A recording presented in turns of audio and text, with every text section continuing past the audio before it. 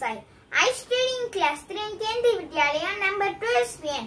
Today I am going to tell you our national pledge. India is my country.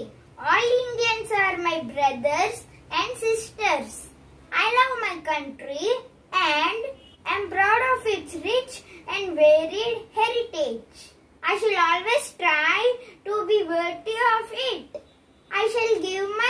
parents, teachers and all elders respect and treat everyone with courtesy. To my country and my people, I pledge my devotion.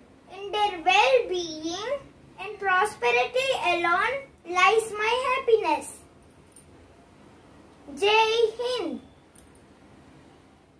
If you like this video, please like, subscribe and share this